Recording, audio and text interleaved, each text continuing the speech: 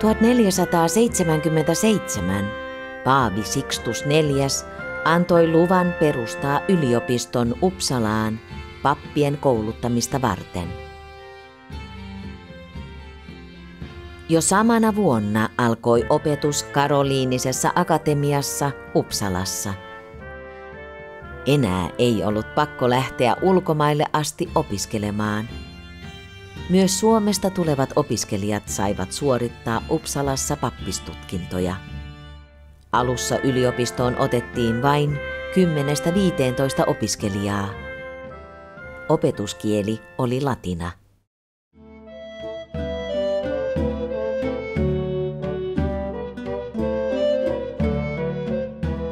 Yksi ensimmäisistä opiskelijoista oli Ulle Johansson, jonka muistiinpanot opiskeluajoilta ovat säilyneet. Hänen muistiinpanojensa ansiosta tiedetään, mitä opiskelijat keskiajan Uppsalassa saivat oppia. Tähän Ulle on piirtänyt Aristoteleen ja Albertuksen väittelemässä ihmisen sielun ominaisuuksista. Kuningas Kustaa Vaasa ei ollut kiinnostunut katolisesta yliopistosta. Kun luterilaisuudesta oli tullut Ruotsin valtakunnan uskonto, loppui opetus. Akatemiatalossa pidetyssä Uppsalan kirkolliskokouksessa 1593 päätettiin avata yliopisto uudestaan, mutta nyt luterilaisin arvoin. 1600-luvulla Ruotsista oli tullut suurvalta ja maa tarvitsi korkeasti koulutettuja virkamiehiä, siksi yliopistoon alettiin nyt panostaa. Kustaa toinen Adolf lahjoitti yliopistolle suuren maaomaisuuden ja antoi Juhan Schüttelle tehtäväksi yliopiston uudistamisen. Vaatimattomasta pappisseminaarista tuli nyt maailmanluokan yliopisto. Juhan Schütte lahjoitti yliopistolle lisäksi puhetaidon ja valtiotieteen professuurin. Jokaisen, joka on opiskellut puhetaitoa, täytyy osata pitää puhe. Yliopiston mahtava uusi rakennus, Gustavianum, rakennettiin vanhan katolisen piispantalon viereen. Ulof Rudbeck oli yliopiston tunnetuimpia opettajia. Hän tuli maailmankuuluksi jo 22-vuotiaana julkaistessaan tutkielman lymfasuonista – ja niiden merkityksestä ihmiselle. Rudbeck suunnitteli aikansa hienoimman anatomisen teatterin Gustavianumin katolle. Saliin mahtui 200 katsojaa. Maksua vastaan he saivat seurata ruumiin avauksia, joihin käytettiin kuolleiden vankien ruumiita.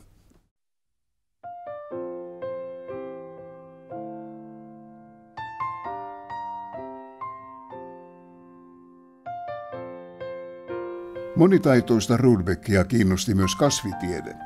Hän perusti Uppsalaan kasvitieteellisen puutarhan. Rudbeck kehuskeli, että vain Pariisin kasvitieteellinen puutarha oli hienompi kuin hänen puutarhansa.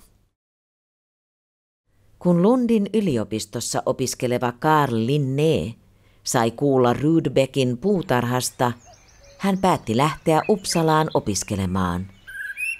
Linneestä tuli myöhemmin Uppsalan yliopiston professori ja rehtori sekä kasvitieteellisen puutarhan johtaja. Puutarhaan hän rakennutti myös oransserin, eli talvikasvihuoneen. Linné antoi kasveille ja eläimille tieteelliset nimet ja kehitti luokittelujärjestelmän, joka teki hänestä maailman kuulun. Jo 1700-luvulla sanottiin, että Jumala loi, Linné järjesti.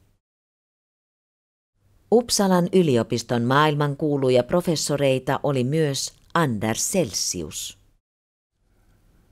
Lämpömittari on minun keksintöni. 1841 valmistui yliopiston uusi kirjastorakennus, Karoliina Rediviiva, uudelleen syntynyt Karoliina. Rakennus sai nimensä – 1778 puretun Karoliina Akademii-rakennuksen mukaan. Kirjastoa kutsutaan Karoliina kirjastoksi.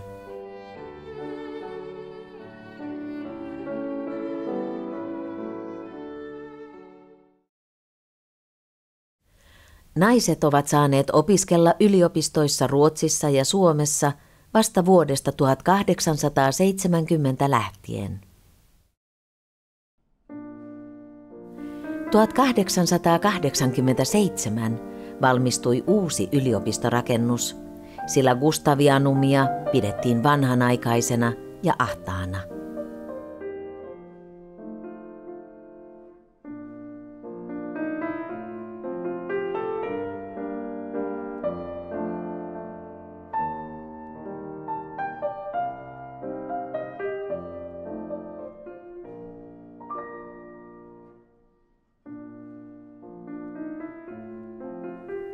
Monet pohjoismaiset ylioppilastraditiot ovat saaneet alkunsa täältä, esimerkiksi ylioppilaslakkien käyttö.